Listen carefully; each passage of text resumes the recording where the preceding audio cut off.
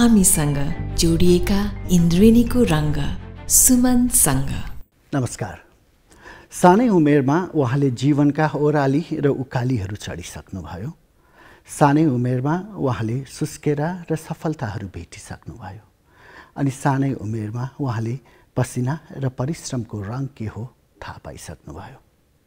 आज सुमनसँगमा स्वागत गर्न चाहन्छु नायिका नम्रता श्रेष्ठलाई।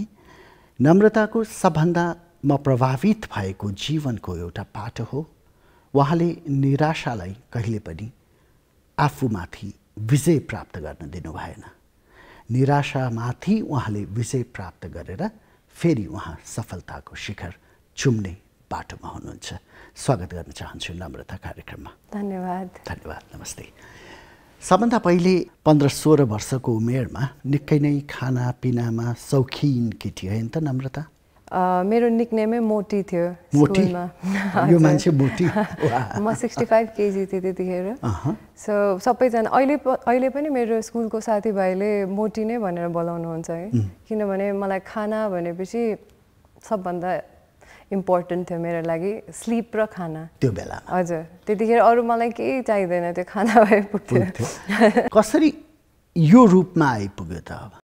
यो रूपमा भन्दा पनि मैले एसएलसी सकिसकेपछि जब म घर आएँ त्यसपछि चाहिँ घरमा धेरै मिठो खान पा पाउँदाखेरि चाहिँ मान्छेहरू अलिक बढी हुन्छ नि प्याम्पर्ड हुन्छ।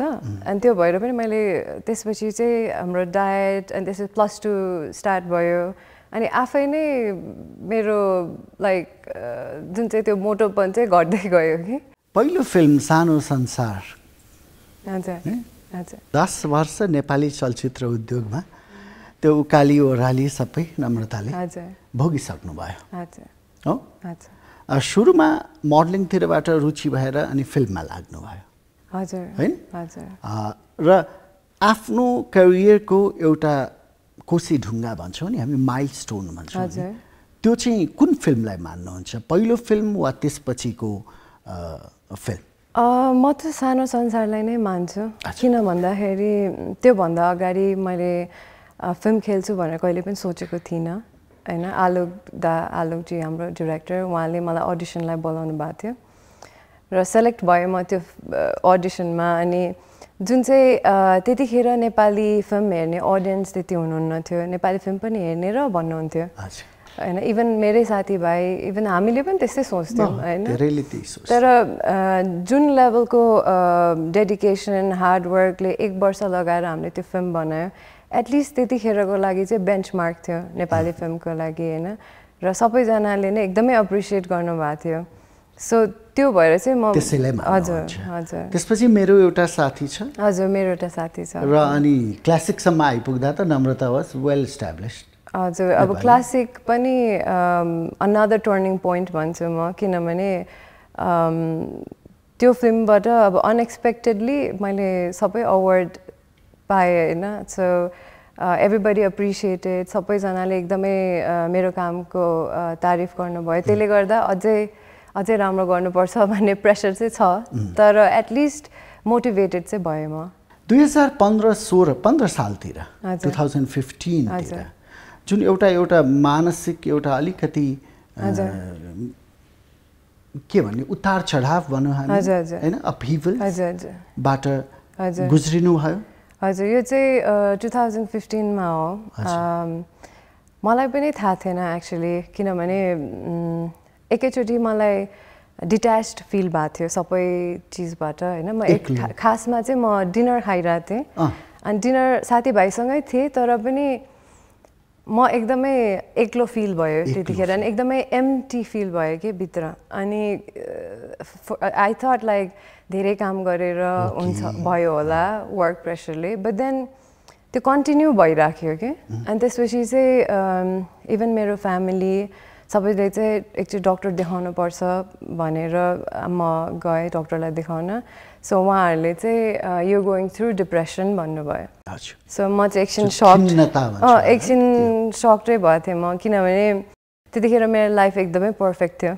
डिप्रेसनमा जानु जानुपर्ने केही रिजन थिएन? किनभने प्रोफेसनली एकदमै राम्रो भइरहेको थियो होइन? इभन फ्यामिली जहिले सपोर्टिभ इभन रिलेसनसिपमा पनि मेरो एकदमै राम्रो थियो। सबै चिज राम्रो हुँदा हुँदै पनि त्यो किन भयो त भन्ने मलाई लाग्यो अनि डक्टरले चाहिँ म देखाउन गएँ दुई तिनवटा डक्टरकोमा गएँ किनभने फर्स्टमै अब मैले एक्सेप्ट गर्न सकिनँ।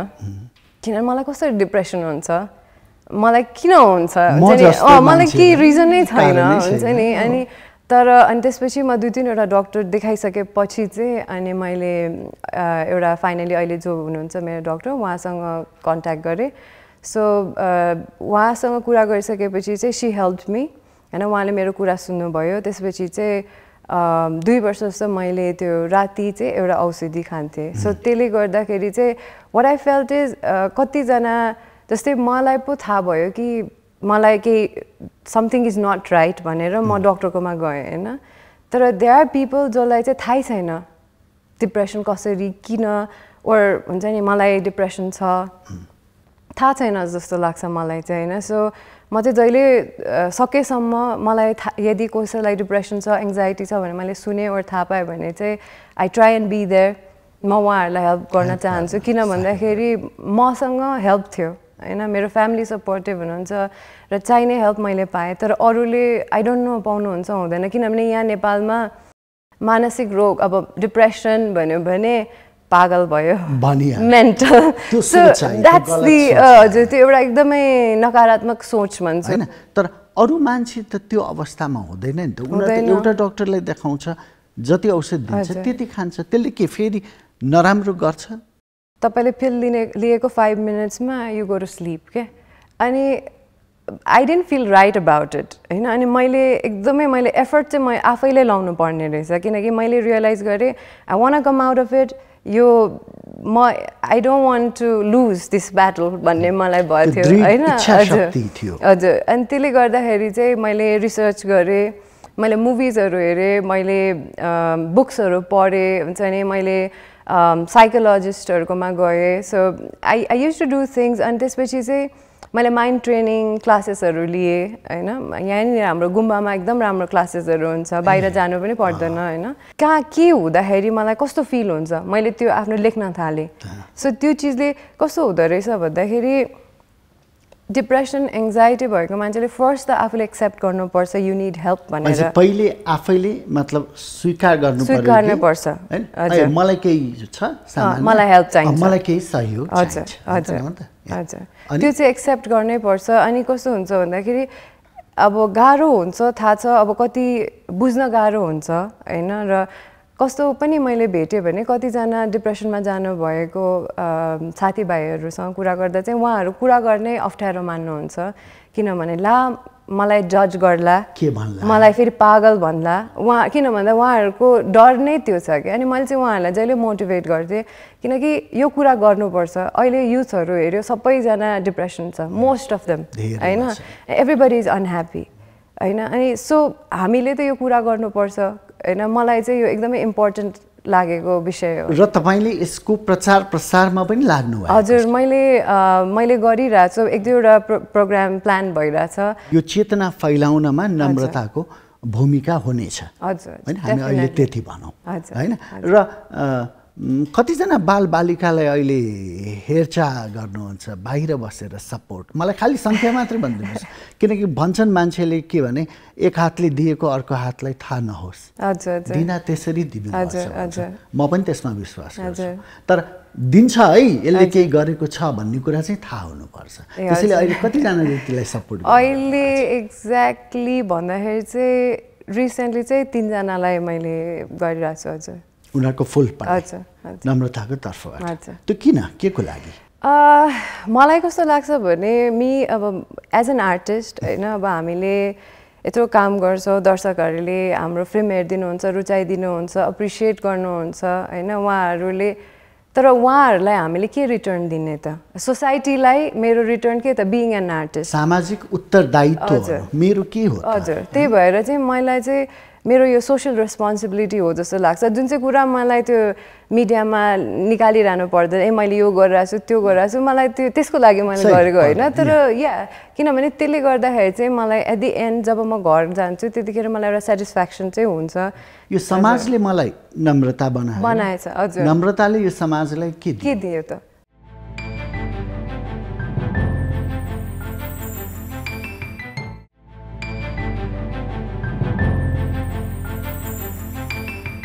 यो समाजले मलाई नम्रता बनायो। बनाएछ, हजुर। नम्रताले यो समाजलाई के दियो? के दियो त?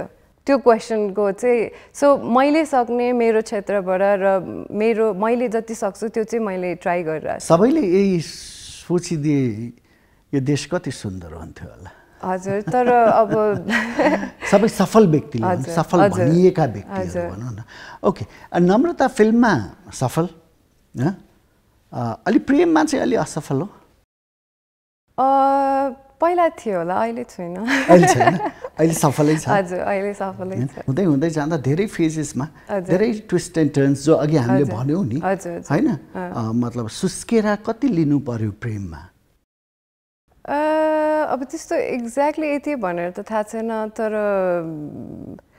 yeah I been through few relationships होइन? दुई तिनवटा भयो तर तर आई डोन्ट रिग्रेट किनकि मैले त्यहाँबाट पनि धेरै सिकेँ होइन? त्यसले गर्दा नै अहिलेको रिलेसनसिपमा I think am a better person किनकि त्यसले गर्दाखेरि मैले धेरै स्ट्रङ मात्रै पनि होइन रिलेसनसिपको इम्पोर्टेन्स होइन? र कसरी चाहिँ रिलेसनसिप भनेको रिलेसनसिप भइसकेपछि चाहिँ त्यसलाई निभाउन चाहिँ एकदमै ठुलो कुरा हो।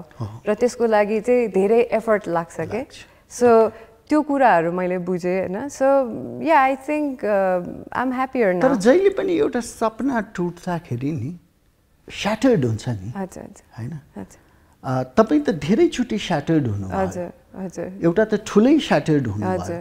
त्यस्तरी स्याटर्ड हुँदा पनि कति मान्छे पलायन हुन्छन् कतिले। के गर्छन् कसरी त्यसलाई एउटा पार गर्यो that is the main thing I want to know मलाई चाहिँ कस्तो हुन्थ्यो भने एभ्री टाइम मेरो फ्यामिली एकदमै सपोर्टिभ हुनुहुन्छ यस्तो अवस्थामा। परेकाहरूलाई सबभन्दा पहिले कसले सपोर्ट गर्नु Family पर्ने? चाहिन्छ? एकदमै, हजुर। तपाईँको अनुभवले भन्छ मेरो अनुभवले किन भन्दाखेरि मेरो हरेक स्टेपमा मेरो फ्यामिलीले साथ म दिनु भएको लडेँ, छ हजुर मेरो फ्यामिलीले मलाई हजुर। उठायो।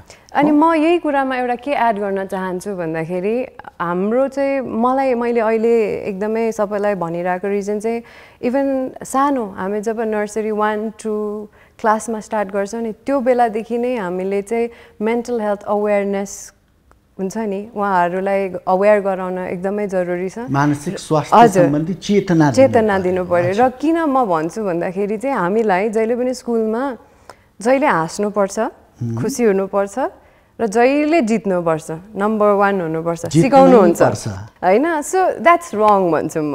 होइन? किन भन्दाखेरि स्कुलमा हामी एकदमै कम्पिटेटिभ फर्स्ट हुनु पर्यो ओर सधैँ हाँसेर बस्नु पर्यो त्यो गर्दा गर्दा जब रियल लाइफमा हामी फेस गर्छौँ रियालिटी चेक हुन्छ त्यतिखेर कस्तो हुन्छ नि स्कुल जस्तो हुँदैन सबै चिज त्यहाँ रेडी हामीले। सधैँ आफैले मेहनत धेरै गर्नुपर्ने हुन्छ र सधैँ हाँस्न पोसिबल छैन र स्याडनेस पनि एउटा इमोसन हो ह्याप्पिनेस जस्तै।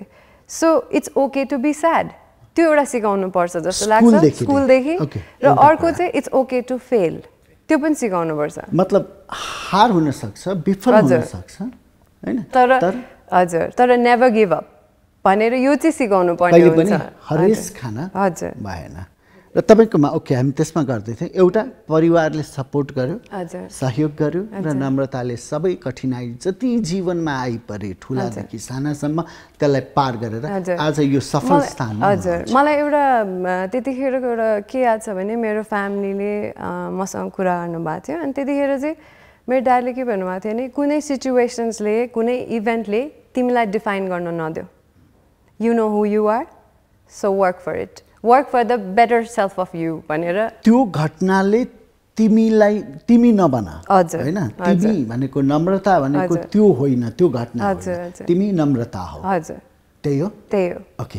एउटा त्यो हो। किनकि यसबाट धेरैलाई सरी टु सोध्नलाई तर यसबाट तपाईँबाट धेरैलाई त्यो यस्ता समस्या जुन जीवनमा आइपर्छन् ब्रेकअप हुन्छन् अनेक। हुन्छन् होइन त्यसबाट कसरी मतलब त्यसलाई पार पाउने त।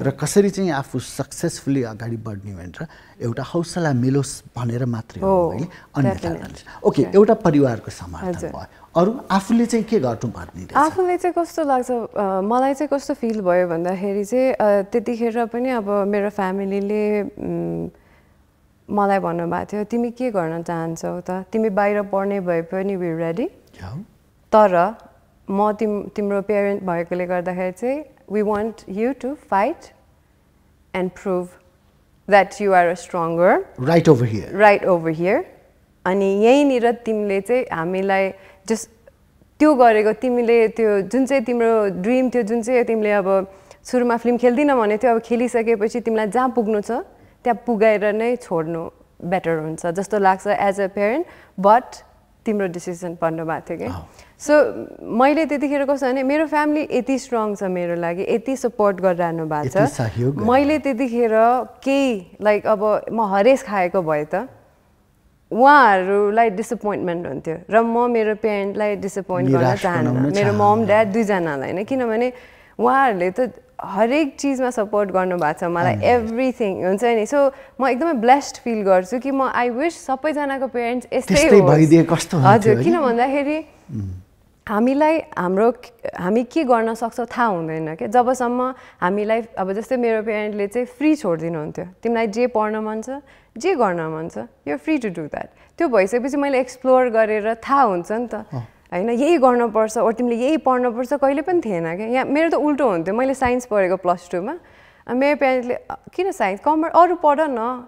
इट्स इजियर नो अझै के मेरो फ्यामिलीबाट चाहिँ होइन no I want to do this भनेर मैले जहिले भन्थेँ क्या उहाँहरूलाई होइन।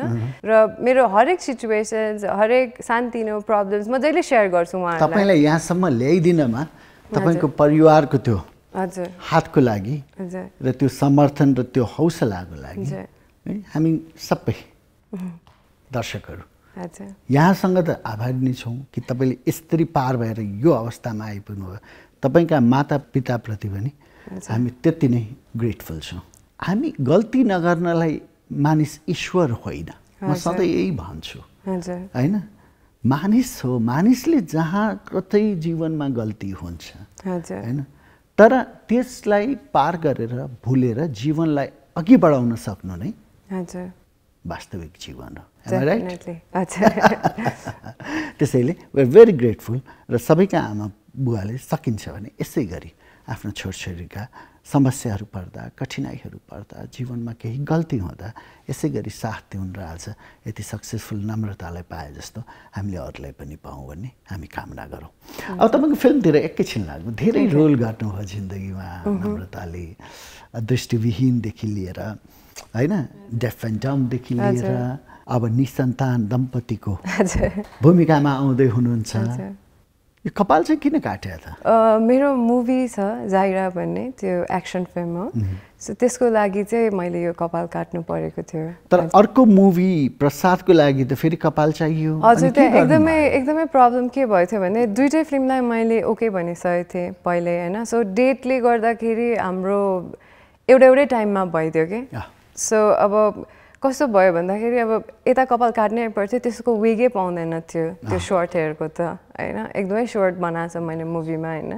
सो त्यसले गर्दाखेरि अब मैले त्यो क्यारेक्टरलाई अब लाइक साँच्चीकै अब आठ महिना ट्रेनिङ गरिसकेपछि होइन? अब एउटा त्यो क्यारेक्टरै भइसकेपछि चाहिँ आई फेल्ट आई सुड त्यतिखेर अनि मैले काटेँ। तर हो अब हामीलाई प्रसादमा अलिकति अप्ठ्यारो भयो त्यसले गर्दाखेरि। तर अब अप्सन नै थिएन। अब थिएटरमा पनि नम्रताले धेरै गरिरहनु भएको छ।